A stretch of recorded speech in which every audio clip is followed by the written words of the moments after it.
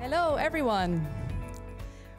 Welcome to the lecture Can I Become Rich from Shares by uh, Professor Dr. Patrick Verwijmeren. I am very happy that you are all here today in the room and also the people who are watching from home. Good that you're here. Welcome, everyone. My name is Lenja Slierendrecht and I work as a program maker, programmamaker for Studium Generale. And I organize all kinds of things like the lecture today, but also uh, open stage nights, film screenings, uh, debates, uh, several things. And if you want to know more, you can follow us through uh, SG Erasmus on socials. I am very happy that today's guest is here uh, for us to speak about the stock market because in my surroundings, and I can imagine in yours as well, or maybe you even do it yourself, a lot of people are investing in stocks. And that is understandable um, because the saving rates are historically low and the housing prices are high. And if you want to invest, buying stock seems a very uh, a good option. But how does the stock market actually work? Young and old are investing in crypto, windmills, Tesla. Is this a case of fear of missing out, or is it actually smart? Can you get rich on the stock market quickly? I'd like to mention that today's lecture is um, being recorded for the people watching from home. So if you have a question, you can uh, best keep it uh, until the until the end, and then me or my colleague will come with a microphone so that the people from watching from home can hear it too. Patrick Verwijmeren is a professor of corporate finance at Erasmus School of Economics, and he uh, regularly gives lectures like today. He did it at the uh, Universiteit van Nederland, University of the Netherlands, uh, TEDx, and at Studio Erasmus. And today he's going to tell us all about the stock market. Give him a warm hand of applause, Patrick Verwijmeren.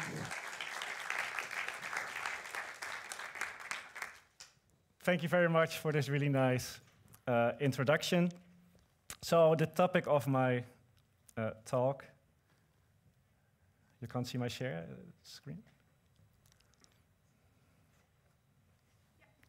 Is investing in shares or the science of investing. I, am not a professional trader, I'm an academic. So uh, what we as academics do is uh, study the, uh, the stock market. I'll uh, mostly have this talk for people who are not familiar with, with shares and investing. So I know maybe some of you do, so if there are questions that are maybe more advanced, we can always uh, chat after the, uh, the talk or ask questions after the meeting. Uh, but let me actually ask, who of you invests in shares? So not through your pension fund, but directly uh, in shares. So roughly half.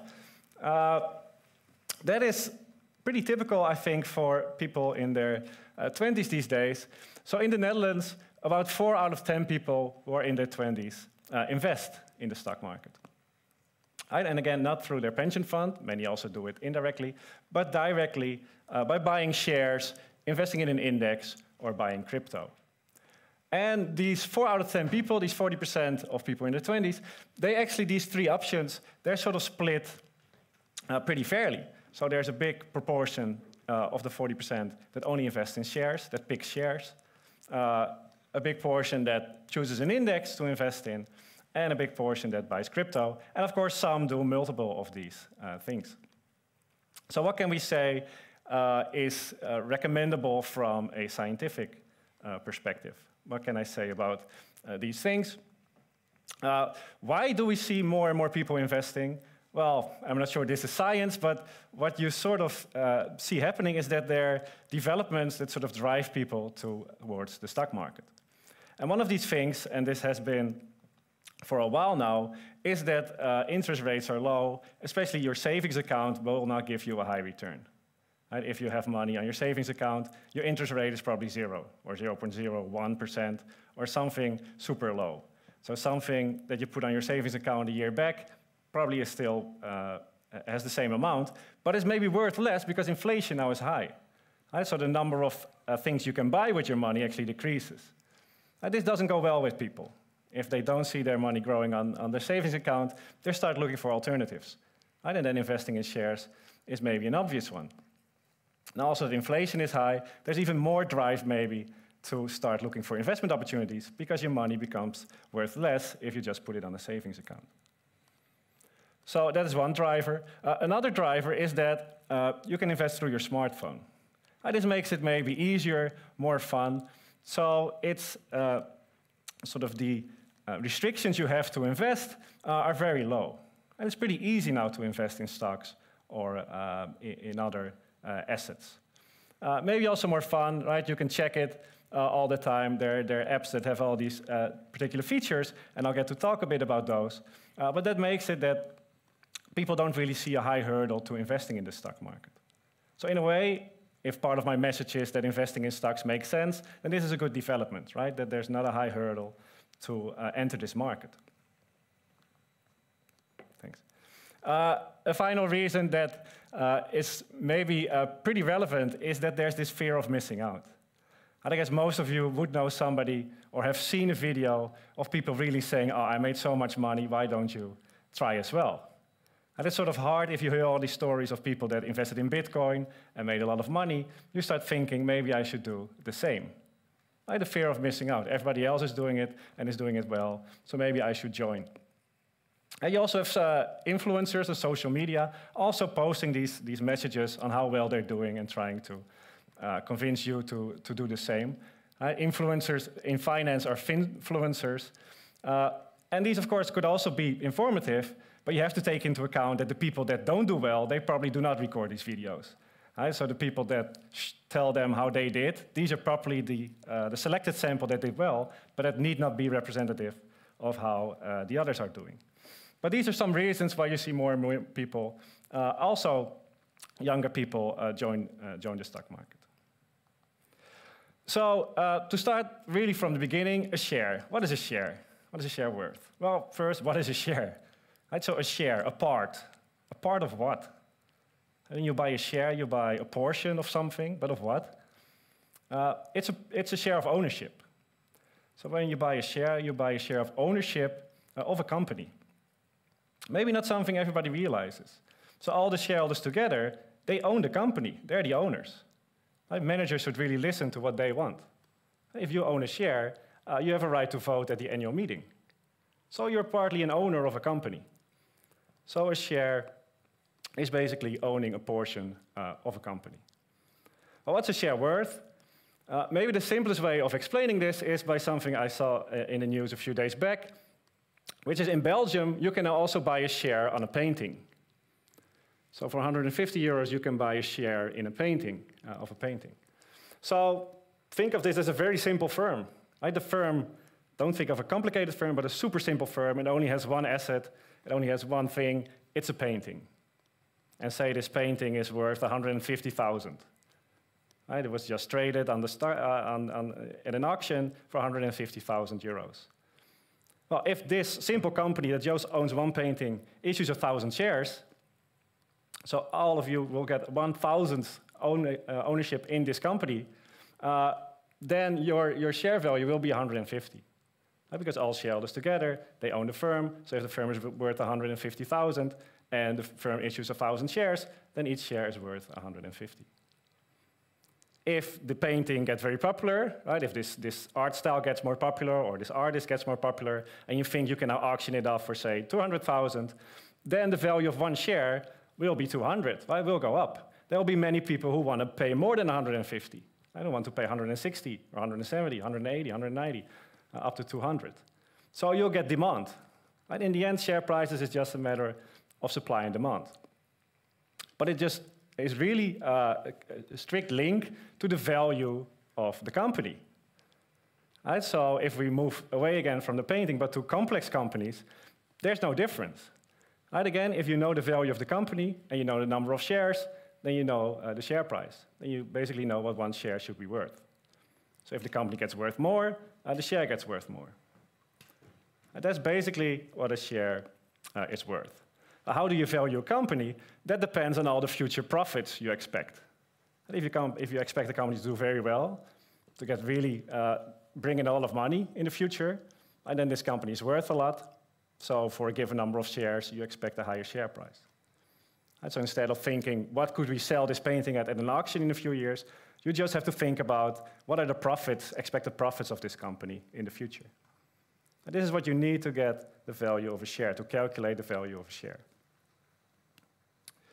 So can I tell you which uh, share to pick? Right? If we're thinking of, we're doing a lot of research into looking into shares. Uh, so Tesla has a share, Heineken has a share, uh, Unilever, uh, Philips. Uh, companies around the world, they've issued shares. Can I tell you which one you should buy? Turns out uh, that's pretty hard. So stock picking is not so simple, and that's because these prices already contain a lot of information. And if you're interested in stock markets and you track prices through the day on your app, potentially, you would see that it moves a lot. And whenever there's new information, the price uh, responds. So if I'm thinking, say I have an iPhone and I really like this iPhone, and I'm thinking, wow, Apple is a pretty good company because they make pretty good phones.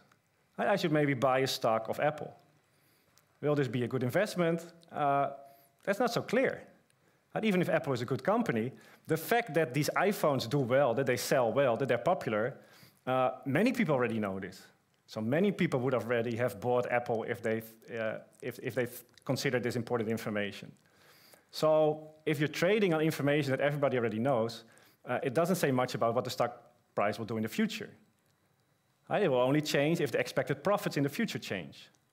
So maybe if you, if you know more than others, uh, then it could be uh, worthwhile to think about a particular stock. But this is hard. So this is when many people have uh, the same information. But let me tell you about uh, a case where only a few people had some information. How is this then easily, uh, how does the stock market work then?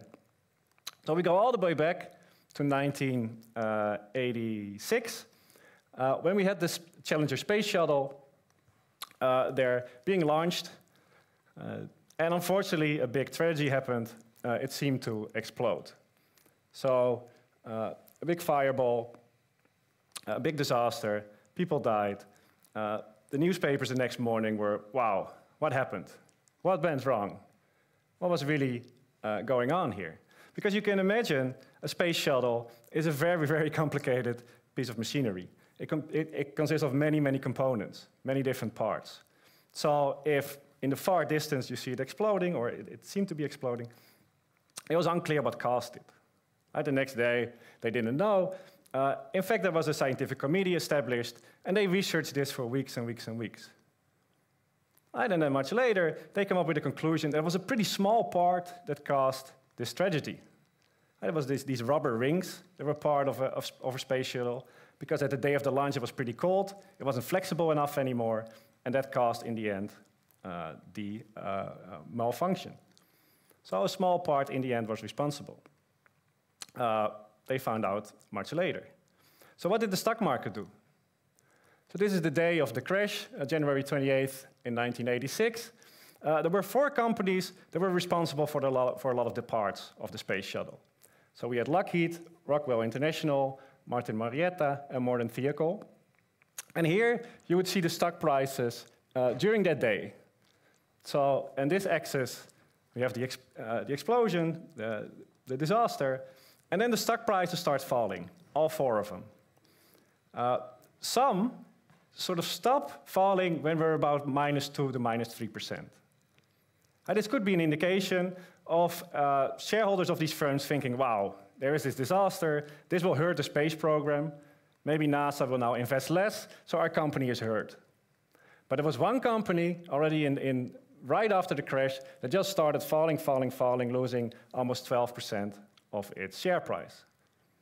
So the stock market, for some reason, seemed to be pretty quick in pointing out uh, who was guilty of the mistake. Well, what turned out, weeks and weeks later, they were right. Morton Thiokol was the one who was responsible for the faulty uh, component. So the stock market reacts super fast to information that only a few people have. Maybe a few people at NASA had suspicions, or a few engineers in this company, but this was not public knowledge. And so the stock market is very uh, fast in incorporating uh, information. Uh, and this was 1986. So imagine what happens today. If news comes out, if something happens, stock markets are super fast in reacting. Uh, we have all these professional traders with all their screens watching all this information uh, coming out, right? News releases, press releases, earnings announcements, uh, news about the economy, everything they have to process super fast. Uh, there, is a, there are also a lot of algorithms. Uh, you don't even have to read a press release anymore. An algorithm is pretty fast in picking out positive words, negative words, linking it to uh, which company it is about, and sort of adjusting uh, it's what, what, uh, what, a comp what a share is worth very fast. So this happens super, super fast now. One example is uh, a tweet by Kylie Jenner. So does anyone else not open Snapchat anymore? Or is it just me? Ah, this is so sad. Uh, so now I'm not talking about earnings announcement or some big company announcement. No, just a celebrity posting something on Twitter. What happened? Well, uh, in one tweet, Kylie Jenner wiped out 1.3 billion of Snap's market value. So even to these things, the stock market reacts super fast. So uh, the point of this story is picking a stock hard. Uh, yeah, it is. So it is hard to just think about a single stock that will do really well that you should invest in. And you can try this. So if you don't believe me, you can easily track stock prices on the internet or newspapers or uh, multiple different ways. So if you think carefully about a stock that you think will do really well, a company, uh, and you put some money in it, or not even, right? you just track the stock price. My prediction is that if you would set this against some random stocks, right? so besides the company you think very carefully about, you also invest or you supposedly track some random companies. Uh, my prediction is that these random companies will not do worse. Right? Maybe a few will do worse, a few will do better. So you can do this yourself. Right? Think carefully about, okay, maybe I want to invest in this company, then track the stock price for the next month. Also pick, I don't know, the first three companies you come across and track those stock prices. And then my prediction is that your company won't be the one that performs best. Well, maybe one out of four times it will. But. So uh, this is hard. Do I say this because I don't trust you or me in investing? No, even professional traders have huge trouble, so why is there a monkey with bananas? Uh, it is because we organize a game every year as a, uh, or the professionals in, in investing do so. So the game is that these uh, stock market professionals, these professional investors, they think carefully about which stocks they want to invest in, uh, and then they compete against, well, against the monkey.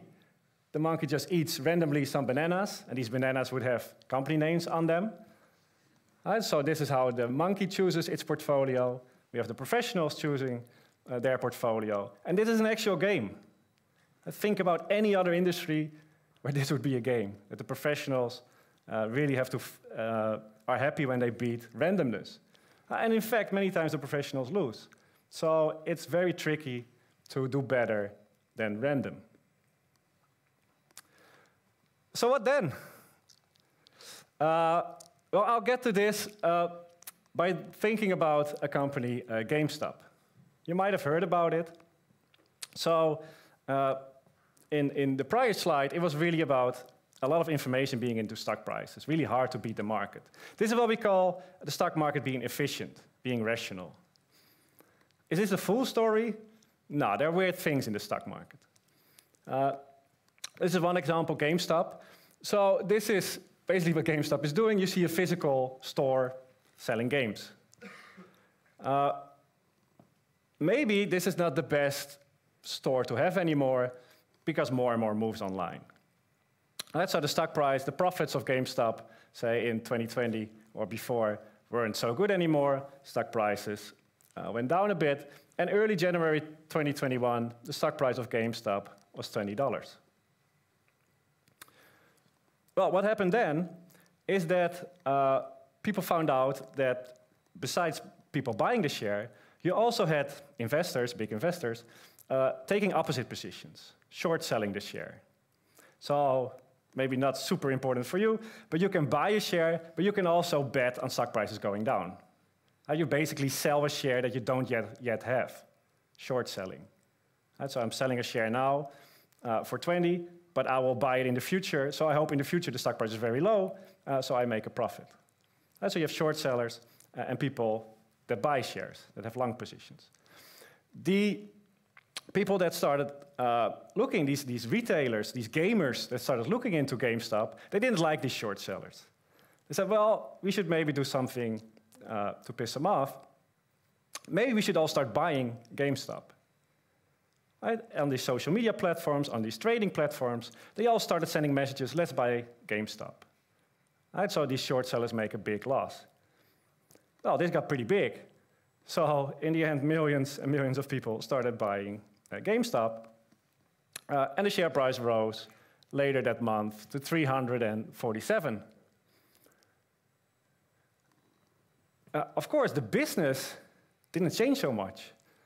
Right? Maybe there's a lot of demand for the stock based on these platforms, but I've explained to you, a value of a stock should represent basically the value of the business. And GameStop still had these physical stores that were still in a bit of trouble. So you might be able to predict what happens.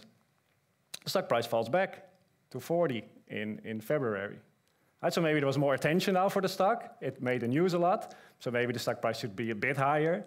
Right? Maybe uh, they came up with new ideas or people got interested. So 20 to 40 is fine. But this ridiculous stock price of 347, uh, this really shows how risky it, it can be to invest uh, in a single stock. Was anybody of you involved in GameStop? No? That's good news. I imagine buying at 347 and then the stock price falling to 40.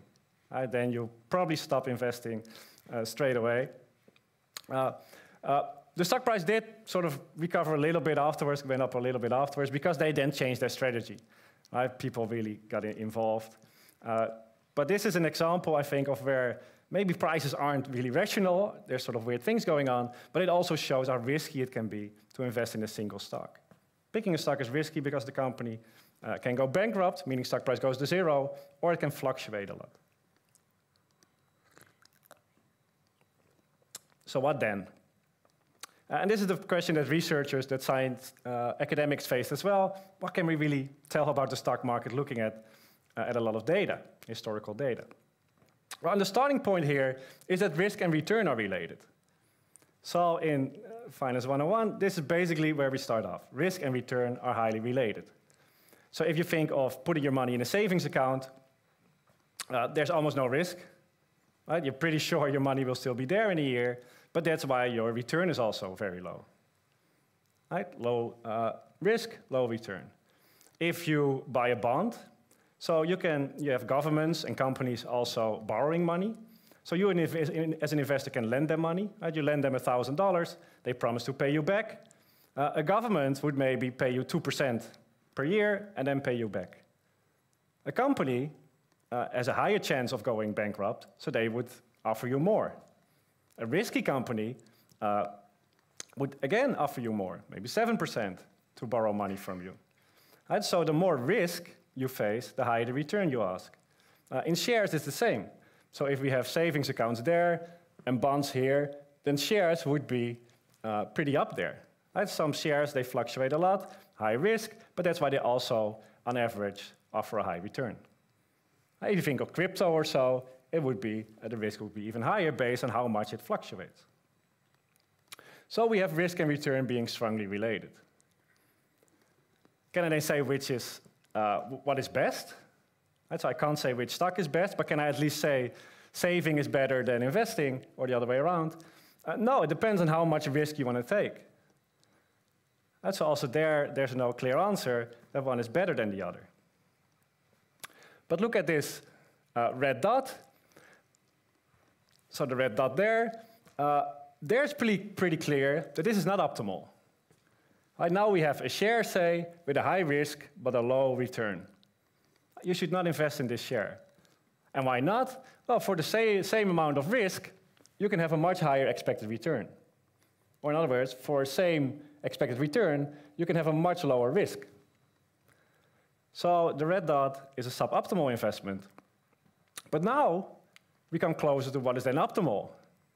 And what is optimal, apparently, is to have a highest possible return for the lowest possible risk. So this is the goal. Right, this sort of the scientific uh, quest into thinking about investing is optimizing uh, the return versus risk relation. We want as high return as possible for as low uh, a risk as possible. I simplified this the most I could. So how to think about this? Think of a very simple economy, an island. They're just two companies. Uh, one company sells sunglasses, one company sells umbrellas. That's super simple. Cannot be simpler. Well, what are the uh, expected returns of these companies? Well, think of the sunglass company. Uh, if it's a sunny year, right, so this year is pretty sunny, then this is good for this company. They try to sell sunglasses. Uh, if, if the weather is good, people buy more sunglasses. Their stock price increases by 10%. If it rains a lot, stock price doesn't move. Right, so there'll be a 0% return if it rains, but if it's sunny, it goes up by 10%. What about the other company, uh, the umbrella company, the other way around. If it's a rainy year, many people buy umbrellas, stock price goes up by 10%, but nothing happens uh, in the other scenario, if it's sunny. Well, what we need to know is how often it rains. Well, say this island is close to the Netherlands, so it's sort of 50-50. Can be a sunny year, can be a rainy year. What can I say about investing in these companies? Well, let me invest in the sunglass company. I have a sunny personality. I think I'm optimistic. I'll buy the sunglass company. What do I expect for profits? Well, if it's sunny, I get 10% on the 100, so I earn 10 euros. If it's rainy, I don't earn anything. Uh, well, it's 50-50, right? Whether it will be rainy or sunny. So uh, the average between these two is 5 euro profit. I expect to make a 5 euro profit. Is this a risky investment? Yeah, it is, because there's a 50% probability I end up with zero profit. But I don't make any money. Well, if you're less optimistic and you want to uh, invest in the umbrella company, well, what do you get? Well, if it's sunny, you get zero. If it's rainy, you get 10 euros. So also you, on average, will get 5 euros. But also you run a big risk of ending up with zero profit on your investment. So now uh, it comes. What can I also do? I can split uh, I can spread and invest 50 euros in the sunglass company and 50 euros in the umbrella company. What will happen? Well, if it's sunny, uh, I get 10% return on my 50 euros on sunglasses, so I get 5 euros there. Uh, the company that sells umbrellas doesn't make a uh, the stock price doesn't go up, so I earn 5 euros. If it's rainy, uh, the stock price doesn't move for the sunglass company, but the stock price goes up by 10% for the umbrella company, so I make 5 euros there. So what is my expected profit now? Well, regardless of whether it's sunny or rainy, I know my profit will be 5 euros. So now I have the same return, but I have a much lower risk. I have zero risk in this example. And so by spreading, I can sort of optimize the return versus risk relation. I can really decrease the risk that I'm facing. Well, if you make this more uh, realistic, you end up with uh, bigger portfolios where you should take into account all the risks uh, of companies, but also how they relate to one another. So this is optimal portfolio theory. Uh, Markowitz, heavily involved, winning him the 1990 Nobel Prize uh, in economics. Uh, so he really thought carefully about the risk, risk of a portfolio. Uh, these are all things you can calculate. I, I, I, give this whole talk without any formula or any mathematics, but uh, you can actually do calculations. Right? The expected return, you can look at the stock prices in the past right, to sort of see how, on average, a stock behaves. You can look at the risk of a stock in the past. Right? Does it fluctuate a lot, or is it pretty uh, stable? Uh, so this is what uh, you then do. So if you have, have, a portfolio of stocks, so you have different shares that you're buying, uh, you have to think about the risk of, say, stock one. How much does it move? This is important for the risk of your portfolio, if you have multiple ones. Uh, you also think about the risk of stock two. Right, so I care about the risk of the umbrella company, I care about the risk of the sunglass company, but I also really care about their covariance, how much they move together. Do they all move in the same direction? Right, if the economy is doing well, do they both then go up? Or do they sort of move uh, in opposite directions, or are maybe not so strongly related. So when one goes up, it doesn't really say anything about the other. So this is the covariance, how well they move together. Uh, so in the example, they really were opposites. This doesn't really happen in practice so much. But of course, shares need not be related so, uh, so heavily. Right? If you're worried that another pandemic will break out, then maybe you should buy a, uh, uh, an online company, an online retailer, or a supermarket, right? They did pretty well during the pandemic. But you should also then buy, say, an air flight company or a, a cruise liner who do pretty poorly when there's a pandemic. Right? So here you have stocks that don't always strongly move in the same direction. So uh, it's about how things move together and about the risk of, of uh, single stocks. But then we add more stocks and more and more. And we do all these calculations.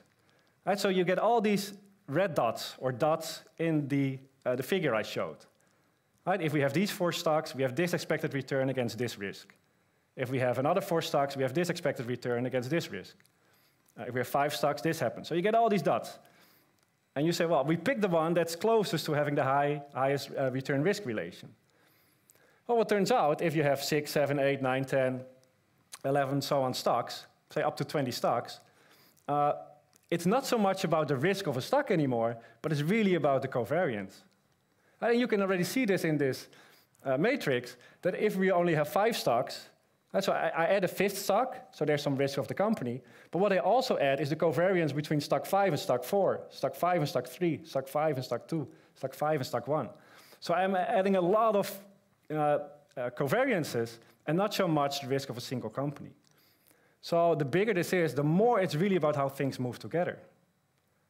So optimal investing is then not about looking at single stocks so much, but really thinking about how you can diversify, how you can sort of not put all your eggs in one basket, but really look at different types of companies. So the advice, what comes out of optimal portfolio theory, if you want to simplify it a lot, is that you should really invest in uh, different industries or different countries. I really look for stocks that do not move so much in line with other stocks. This is what really helps you uh, to reduce the risk and optimize your return versus risk relation. So again, you could do this with all your, in your Excel spreadsheet, do all these calculations. Uh, because it matters so much how things uh, move together, it's so important to spread. The simple strategy is to just invest in an index. So what is index investing? It's a passive investment technique that attempts to generate returns similar to a broad market index. So instead of really thinking about each company carefully, you would just buy the whole AEX index or the whole market index, or the world index. Right? Not every stock in there, but an instrument that tracks the index. Right? So they do this for you. Uh, if you invest, do index investing, the company you do this through, they make sure they track a given index. So the Dutch stock index or world stock index or the US stock index. So by doing this, you're pretty well diversified. You reduce your risk, but your return could still be pretty good. So this is index investing. Uh, so in the beginning, I, I told you already, the, the portion of, of Dutch people in their 20 who do index investing is roughly the same as people who, who pick stocks. But scientifically, index investing uh, uh, seems preferable unless you really pick a lot of stocks and diversify well in that way. Index investing also allows you to uh, maybe not invest in, in the whole index, but maybe only in socially responsible companies. This is what you see now as well.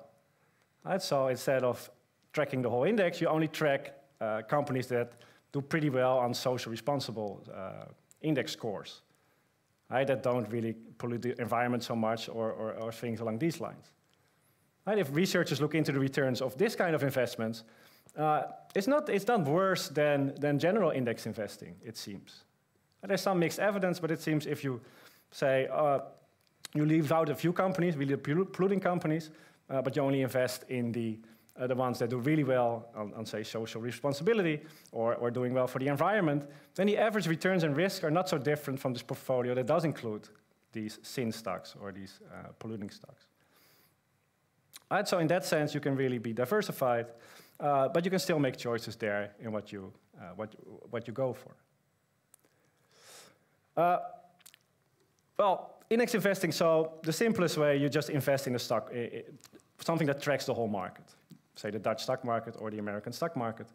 If you want to think of how well, how much does this earn you, then we can really look back, say, 100 years. Uh, we have data, going a long way back from how markets have performed over time. So here we have a lot of historical data, uh, and of course it depends a bit on the country or uh, or, or, which stocks, uh, stock index you look at, right? Just the, all the big firms or all the firms. But the average annual returns over the past 100 years are five, between 5 and 10% in stock markets. So each year, uh, on average, the stock market will go up, say, by 8%. Uh, is this super important, the 8%? Uh, well, it turns out to be because if you get this every year, uh, your sort of your money grows exponentially. And this is much easier to explain since the pandemic uh, because you're pretty familiar with this R figure, I'm guessing. Uh, with the coronavirus, uh, if the R is above one, you would see it spreading pretty fast.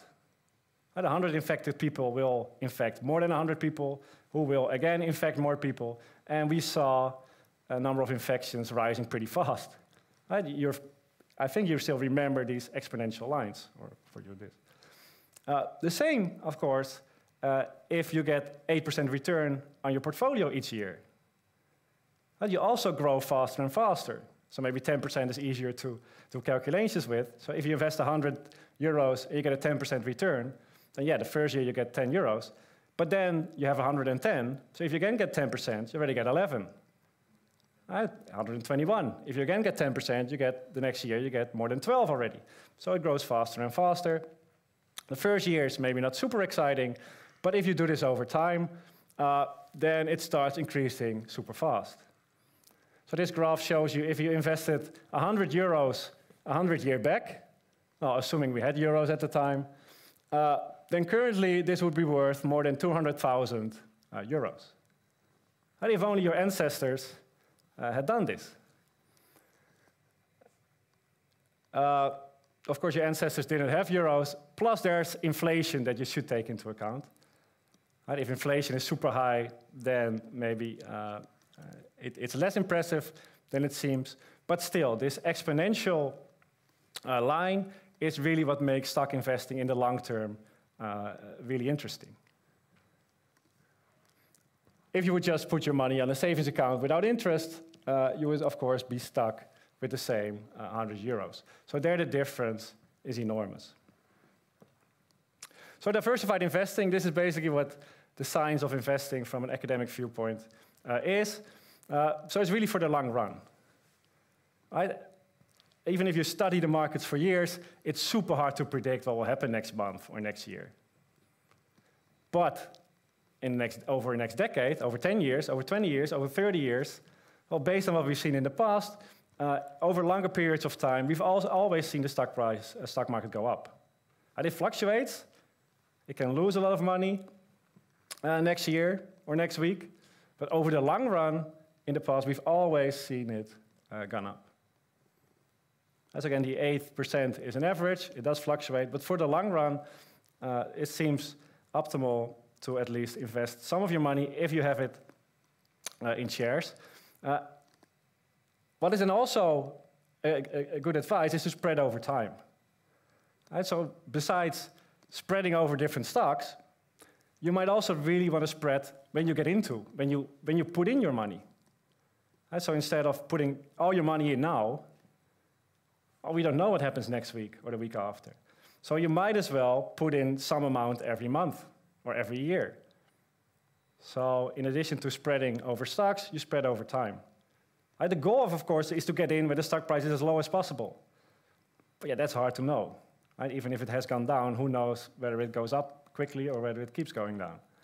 But of course, if you have any insight, uh, it's useful to get in low and get out high. But if you don't have insight, like I think goes for, for most people, spreading over time makes sense. What some people do is when they, whenever they get a raise from work, then this is the amount, the additional amount they get uh, as a salary, this is the amount they put on their, their uh, investment account uh, every month.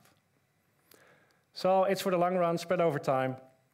And important, uh, but investing in, in shares typically is, it's that you do it with money you do not, do not need in the short run. That's not money you need for groceries or, or to replace your washing machine, uh, again, we don't know what happens to your money in the next week or month. Stock prices are unpredictable. Uh, so, and I guess that's why you would invest uh, as well. It's really in the long run to maybe retire faster or go on expensive holidays later on your life, later on in your life. Right? Don't use the money you really need now. Uh, how would you do this? Well, there are multiple ways. I talked about these apps. Uh, most people would do it, or I think it's, it's, it's easy to do it through a bank. Right? A bank, you can just walk in and say, well, I, I, I want to invest uh, and I want to do it diversified. Then they would look at your risk profile, they would find out how much risk you're willing to take, and they can diversify uh, for you. But they would also then think about other uh, uh, assets that could be in your portfolio. So it doesn't have to stop with different shares. You can include bonds in your portfolio as well, or the bank can do it for you. If you're very wealthy, uh, buying real estate or gold uh, is also a good investment. And why? Uh, well, again, think about how things relate, these covariances. Right? If you're really looking, uh, if you really want to optimize returns versus risk, you're looking for assets that do not co-move so much with stocks. Right? So then gold is typically mentioned. That gold is pretty stable. If stock markets crash, then maybe gold keeps its value. Right? Or real estate. Well, currently housing prices very high, but there are also instances where they don't move in line with, with stock markets. And bonds as well. So uh, if you think of by diversification, you can even go beyond uh, the stock market. Art is, well, uh, art is something I've done research about uh, because you can also think of paintings. People often said uh, paintings are very good for diversification. And this could be, right? When we had, I remember the, the, the crisis 2007, 8, 9, and stock prices were falling, the global financial crisis, you still had art prices going through the roof. I had hundreds of millions going to paintings. So people said, well, instead of investing in stocks, you should really invest in, in paintings.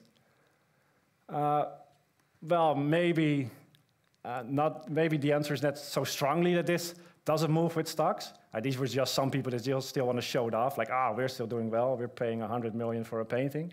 Uh, most paintings lost value as well during, during this crisis. So they, it's not that they completely, the paintings are completely isolated from movements in, in the world, but art could also be a good diversification uh, mechanism. So I've done research about this, looking at, at art auctions, and I get to see all these auction data from Christie's and Sotheby's around the world. So you, you see them selling paintings. You see people buying, uh, paying something for paintings. And I see the same painting selling multiple times over time. And I see this Picasso selling in New York in the 80s and then in the 90s uh, in London. So I can easily calculate what the return is on this painting, this average return. I do this for thousands and thousands of paintings, so I, I get to see how much uh, art prices move around uh, uh, over time. And also, that is not a bad investment. So the average return is roughly 6%. So if you're able to buy paintings, and not a Picasso, right? Uh, I look at paintings that sell for 1,000 euros or, or, something along these lines, uh, then that seems to be a pretty good investment for diversification purposes as well. And of course, you have to transport this painting and you, there, you have to insure it maybe, so there's additional cost. Uh, but at least you have something to look at, right? This might be uh, not a bad investment at all, especially if you want to diversify. And this is, I think, where crypto comes in a bit as well. Uh, for many people, just investing in cryptocurrencies is super risky. But as a diversification uh, mechanism, it seems pretty suitable, right? In that it seems to sort of have a life of its own. It's not highly related to the traditional markets. So maybe a small portion, or uh, depending on your risk profile, uh, a portion of crypto in your, in your portfolio could be, uh, could be worthwhile. I'll get back to uh, crypto. Uh, at the end, uh, a few trends. One is gamification. So when I mentioned apps, again, research has shown that in the past, at least, that investing in shares could, be, could lead to pretty good returns. So that apps make it easier seems like a good thing. But gamification is something that you see more recently. So this is the use of game design elements in non-game context. Investing is not a game, but these apps, some of them, they sort of turn it into a game. Right? When there's confetti if you make a trade, or flashing colors, or you get achievements, or you get advice, right? Where they really turn it into sort of a tournament or a game.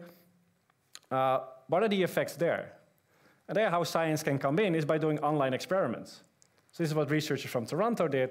They did an online experiment uh, to study the impact of, this, of these gamification things on how uh, traders, uh, the decisions they would make. And so they would build uh, an app, a website. Uh, they had all these participants. Some participants got the, the trading app without all these additional features, these gamification features. And some of the participants got the gamification website. And then they looked at the difference in their trades. Well, what did they find? Well, they found that the one that has gamification really leads participants to take on more risk. Uh, and especially for inexperienced traders that didn't know so much about finance. And this is something I think this is just a first study, so more research has to be done. But if this is really true, then this is something I think to, to be aware of. That all these additional features in these apps, uh, that they could lead you to take maybe more risk than you would otherwise take. Right? Especially if you haven't traded much in the past uh, or you don't understand the stock market so well. So something to be uh, aware of. Uh, another trend, of course, is uh, crypto. Uh, from a scientific viewpoint, yeah, what can I say? We see it more as speculation, more as gambling. Right? Stock investing, we have data from over 100 years. Right? We, we have seen all these stock prices move in the past. Crypto, we don't have all these data. So uh, it's much harder to say things uh, about it from a scientific perspective. Right? It's a lot of speculation, it's gambling. We see this going to a casino.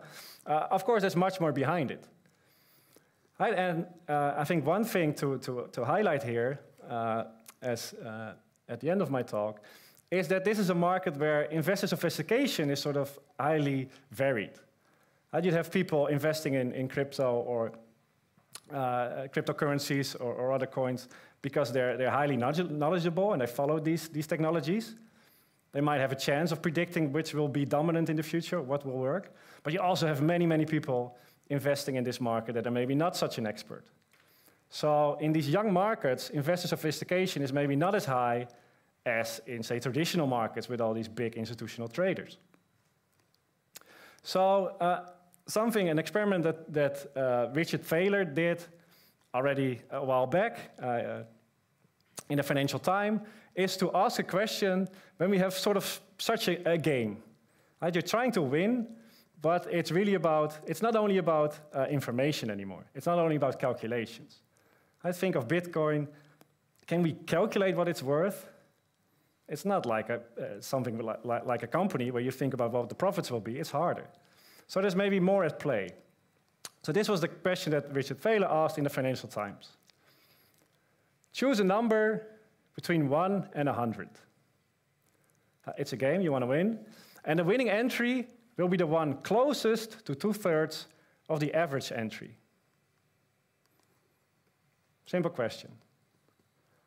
So I'll think about it for 10 seconds.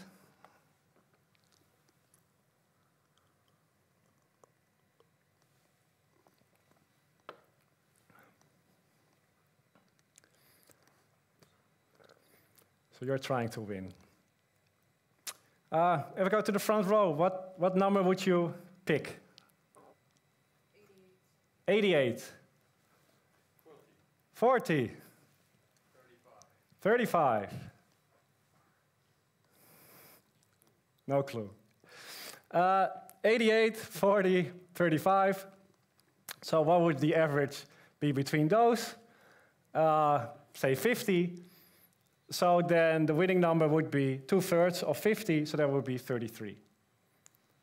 Right, so with these, say these three are representable, representative for all of you, uh, then the winning entry would be roughly 33. Uh, but think about this game carefully. So the winner, the winners is two thirds of the average.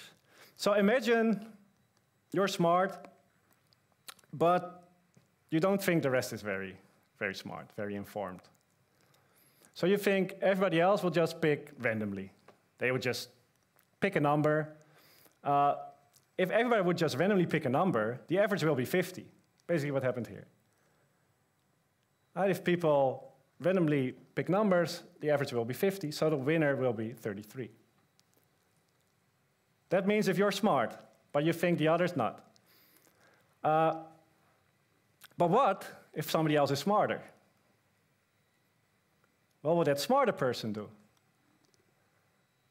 Well, the smarter person will think, ah, these other people are smart, they picked 33 because they want to win. What will I pick? I'll pick 22. I'll pick two thirds of 33. I think you can see where this goes. If, if you're even smarter, you think, ah, all these other people, they'll pick 22. I'll pick two thirds of 22. Oh, and others, well, again, the smarter the people get, in the end, they'll pick one. So if people are super informed, they can do all the calculations, they understand what the game wor uh, how the game works, they'll pick one. Well, is this what happens in practice? Uh, no. Because, okay, the super, the, the smartest people in the room picks one, uh, picks one, but it's just calculations. Right? Maybe you don't even uh, are not only doing calculations, but you're also really good at judging the other people that play the game. So you think, well, maybe they're not so sophisticated. They will pick something else. So it's about also thinking what other people think. And also thinking about how other people think what other people think. And this is sort of this simple game. The winner in the, in, in the, the Financial Times, I think, was 13, the winning number. Uh, so quite low, so thinking, okay, there's a lot of sophistication, but also some randomness. Uh, and I think this is sort of how you could think about these, these crypto markets now. It's not really doing calculations about what something is worth, it's really thinking what others think it's worth. Right? It's judging what other people are doing, whether other people will still jump on uh, the bandwagon and will, will invest. Uh, this is sort of the market you see now not really based on calculations yet, maybe some, but there's also really a lot of, of psychology, if you will, really predicting uh, the, what other people will do. Okay, uh, some conclusions. It's hard to predict individual stock price movements. That's one thing I try to uh, convince you of. I'm not saying that, it's, that everything is perfectly rational. There are weird things, but overall, it's very hard to predict which stock will do well from a scientific viewpoint, if you think of optimal portfolio theory, it's really about diversification. Not putting all your eggs in one basket, but really diversifying between industries, countries, uh, and so on. Uh, I don't want to give investment advice, but if I would, then really do not uh, invest with money that, that you cannot miss. Right? This, is, this is risky. Uh, you can easily lose your money. So if you got really interested in the stock market, do it with money you can miss, and there's really no guarantees. So even when researchers talk about the stock market, the average risk and returns, it's based on the past. Uh, we've done it carefully, so we've looked back uh, a long time back in the past. We looked at different countries. We did a lot of additional tests to sort of see what happens. But again, who knows what the future will bring? So it seems that in the long run, investing in shares is a very good strategy. Uh, but again, there are no guarantees. Stock prices do move up and down a lot. So thank you for your uh, attention, and I'm happy to answer questions.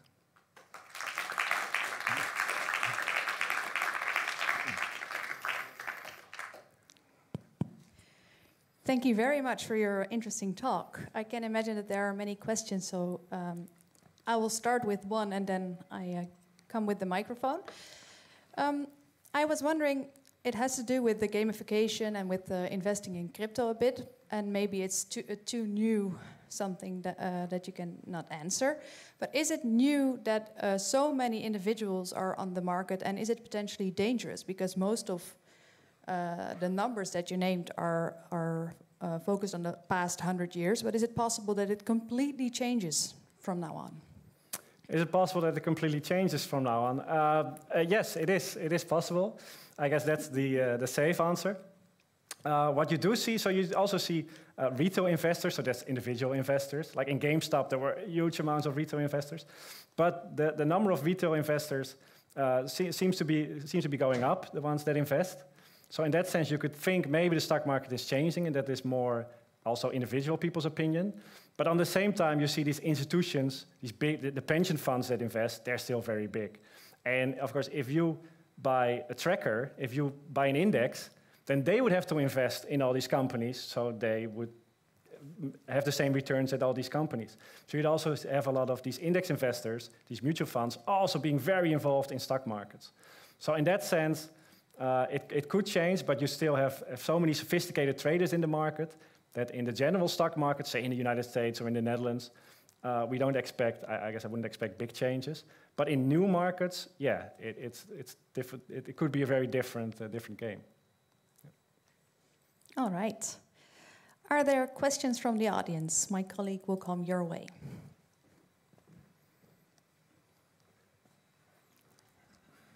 Thanks a lot. Um, I have a question regarding how can we, as, as let's say normal individuals, get the really important information, really big insights that, for example, pension funds have.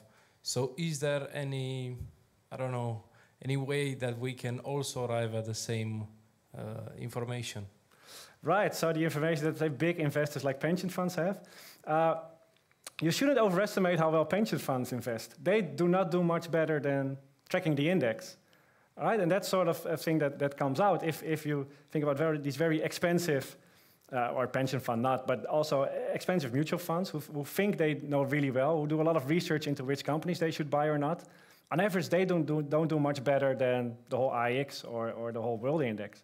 So it, it, also for them is very hard to sort of outperform, to do better than uh, the, the, general stock price movements. So it's not that they would, on average, have a lot of information that they could exploit, especially not information that is relatively easy to get. Uh, but of course, the things they do is, is to go through the annual report. Uh, if there's an annual meeting, to uh, go to the, the questions where, there's, where you can ask questions to, say, the, the CEO, the boss of the company, and, and see the answers or to read analyst reports. You have financial analysts who follow companies. They write reports on what they think, whether you should buy or not.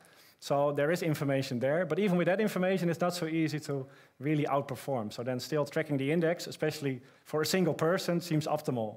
Right? If they have 100 people doing the research, maybe, but for you, it seems like a very big investment for maybe uh, not so high return, additional return.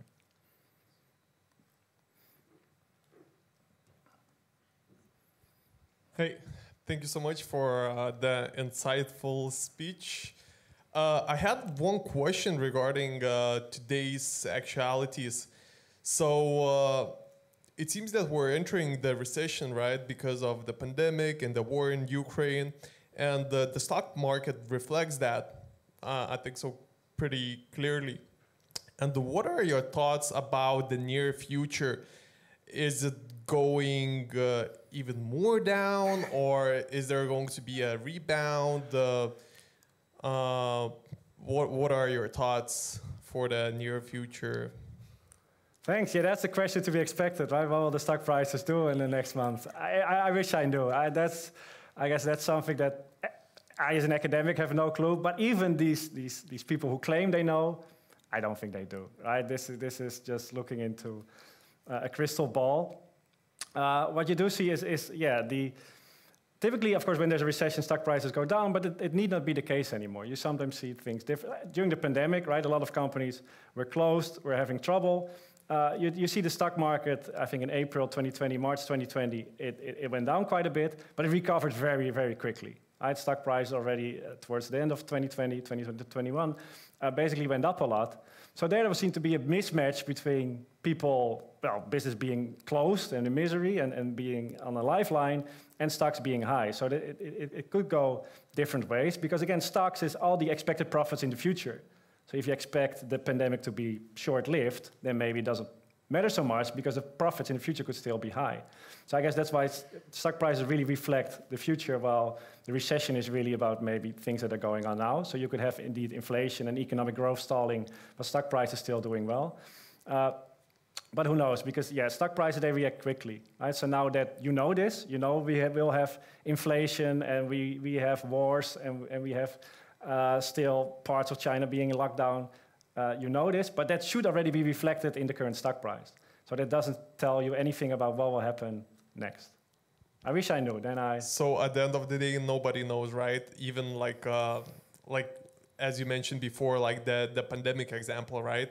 Everybody thought it, that it's going to be down and stay for there for a while, but it didn't happen, right? There are very, very few people who know, and I think even those, you can only uh, sort of pinpoint them backwards, right, in hindsight. So now you can think about past crises and say, ah, nobody saw it coming except these 100 people. But that's in hindsight, right? Uh, it, it's, it's really hard to predict. Yeah, I think so. When you look back, then it's easy to connect the dots, right? Yeah. All That's right. what we do, I guess, as academic researchers. We're very good in explaining why things happened, but we're, we're horrible at predicting what will happen. All right, good to know. Thank you so much.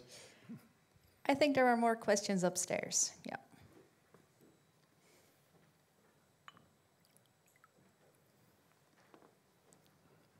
I, uh,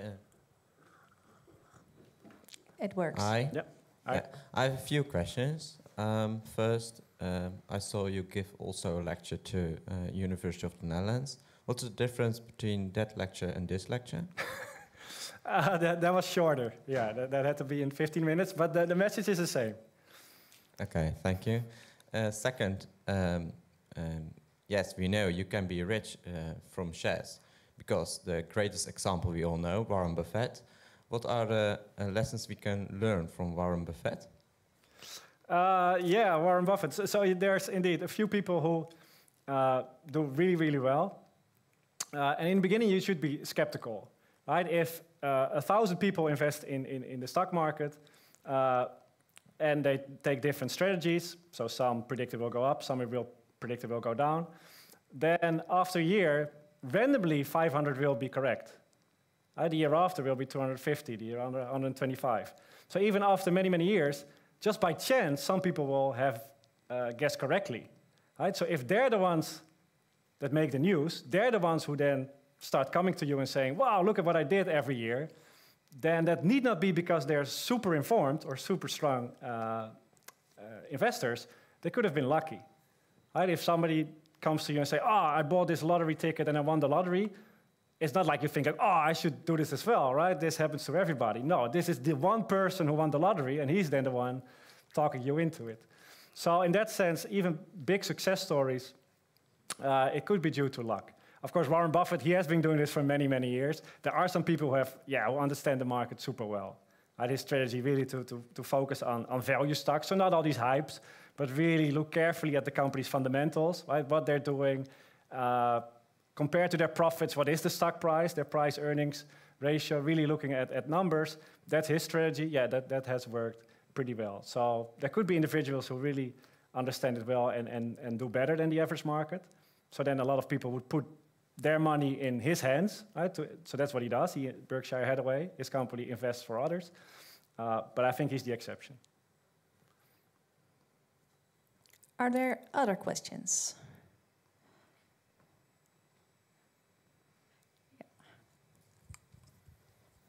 Hello. Okay, thank you very much for the uh, short speech. I have a question. So if like for the next, I don't know, 60, 70 years, uh, I just invest like uh, a certain amount every month and the market would give the same returns, like, I don't know, 5, 6% for the next 50, 60 years, will I be rich? Uh, yeah, you can calculate how much money you'll, uh, you'll have, right? So there's these, uh, these, these websites where you just you, you plug in the number you invest uh, each month or how, how often you want to do it. You plug in the expected return, and it'll tell you how much you'll uh, you'll get. Right? So if, if it was 100 euros 100 years ago, it's worth more than 200,000 euros now if the ex expected return is 8%. So that's a lot of money. With inflation, of course, it, it, it's worth less. Uh, but that's something you can, you can do. So, of course, you need to predict what the expected return is in the future. We only know this from the past, so that's tricky. Uh, and of course, you have to be careful in that the graph I showed is super smooth, but that's of course not what happens in practice, right? It goes up and down, up and down, up and down, but over time it, there is an, an, an, upward trend. But yeah, you can do these, these calculations. You just need to know how much money you put in and what you expect as a return. Okay, and one follow up to that. So if we always look in the long term and um, yeah, just not in the short term, but just in the long term, uh, why isn't everybody then just investing and putting a certain amount, for example, in the S&P 500, if over the long, long term, you have like a guarantee that you get like, I don't know, 5%? Yeah, so that was a good question. So, so that was the puzzle that, say, the finance literature had, right? Why don't people invest more in the stock market? And that's why, if people ask me these apps, well, I think that they, they have a very uh, a good component in them in that it makes it easier to invest in stock markets. And from a finance viewpoint, based on what we find, uh, it makes sense to invest in the stock markets in the long run. So uh, that, that's why it was a puzzle why people didn't. But of course, is it a puzzle, right? It, it, it's, people don't always understand or people don't always have the money to invest, right? So there's a lot of uh, maybe knowledge still to spread. I guess that's why I'm giving this talk as well. A lot of uncertainty to take away or things to explain. Uh, so no, I think it's an excellent question. Why don't more, more people invest in the stock market? But you see more and more and more. Right, there's also studies there because I think, all right, don't people have the money? Don't people have the sophistication? So what you would, what they would, for example, do uh, in, in Scandinavia, where researchers have great data, they would see uh, somebody dying and then somebody inheriting a lot of money. So their, their skill would remain the same, their knowledge of the financial market would remain the same, uh, pretty much their life would remain the same, except that they inherit a lot of money. And then you see, indeed, that it's much more likely that these people now invest in stock markets. So that basically having a windfall, having enough money, is, is uh, a prerequisite for, uh, for willing to uh, take the time to look into the stock market and invest. So that's one thing we need. You need, uh, right, money to spare. But I think sophistication or understanding financial literacy, right, understanding a bit about the financial markets, uh, is useful. But I guess that's why my talk also tells you that you don't need to be an expert on all these stocks, or you don't need to follow the stock market every day. If you spread, if you buy an index, you don't have to be super financially literate to, uh, to make relatively uh, good investments. Thank you very much. There is one more question right in the middle.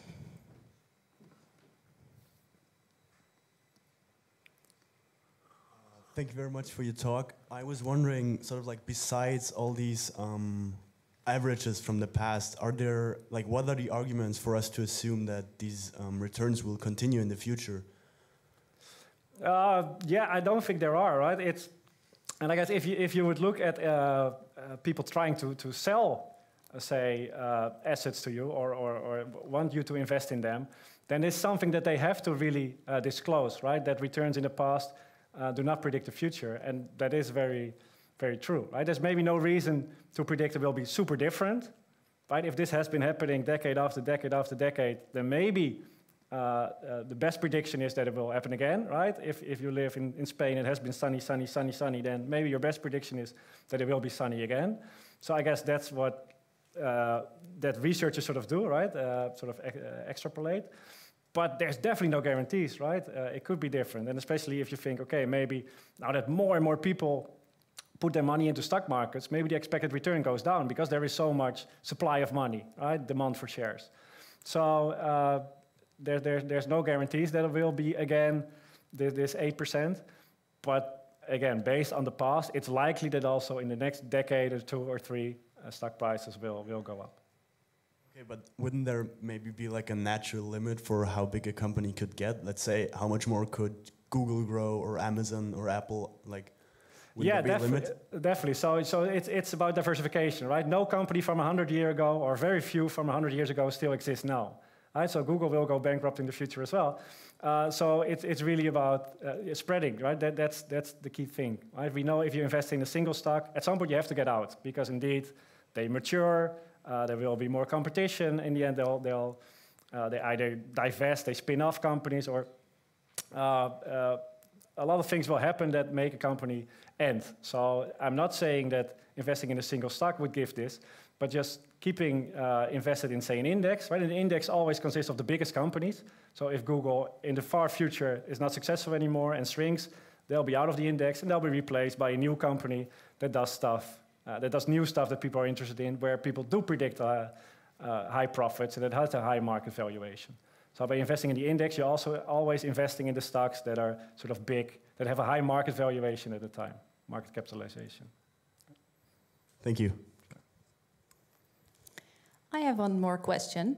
You um, mentioned social social investments or something like that, and uh, that's when I uh, when my eyes were open because you say that uh, the average profit is no less or assumably no less than uh, with other uh, investments. But isn't it bad for the covariance if I put, for example, money in in solar uh, solar panels and windmills, and we end up all using oil in the future? Right. Yes. Excellent question, and, and that's why I mentioned in there because uh, based on the the optimal portfolio theory, uh, you could indeed come up with this prediction, right? That when it's a lot about covariance and a lot about spreading, then it's optimal to also spread between, yeah, solar companies and companies that use oil, or uh, a lot of companies that really care for the environment and companies that can, do not care so much. Right? You want to maybe invest in tobacco, in drugs, uh, in war companies because they do well when there's a war breaks out, uh, and opposite companies. So from an optimal portfolio theory, uh, this could be could be uh, what, what, we predict. But if you actually do these calculations and you take out all these war companies and tobacco companies and drugs companies and alcohol companies, uh, it turns out that it doesn't hurt you so much.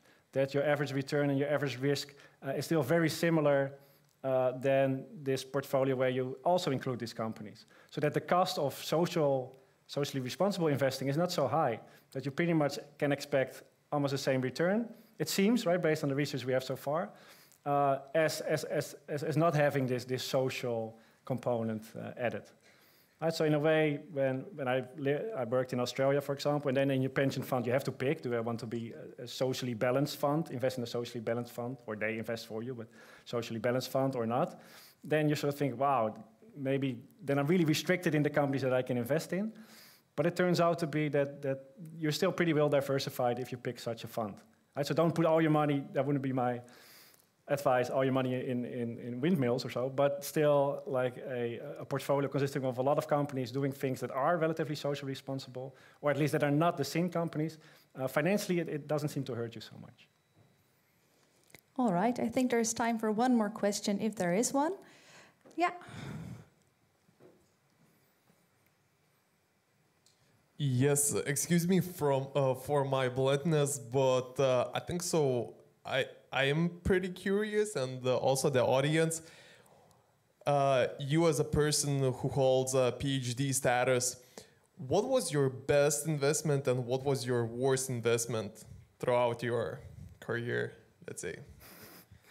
Uh, yeah, so th there's, there's no exciting answer, I'm afraid. So, in beginning, I just had fun buying single stocks, right? Uh, thinking, okay, this could be a, a, nice young company. I want to invest in that and, and track sort of uh, how, how the company was doing.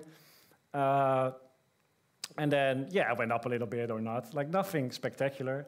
Then uh, 2008, 9 happened and stock markets went down a bit. Then it was sort of, it's called the ostrich effect. You basically put your hand in the, in the sand, right? You just stop looking at your returns, like, ah, this is, this is terrible, I don't want to look at it anymore. And then afterwards, I thought, well, let's just do what I what we learn in finance, right, is to spread and buy an index. So that's what I've been doing for for a long time now. And yeah, I just whatever the the world index is doing well, I guess I'm riding that uh, these movements. So no cool story. I'm sorry. All right, good to know. Thank you. Thank you, all of, all of you. Oh, sorry. Can you maybe ask it later? Thank you, all of you, for, uh, for being here uh, today. I'm very happy that you were all here. Give um, Patrick Verwijmeren one more hand of applause.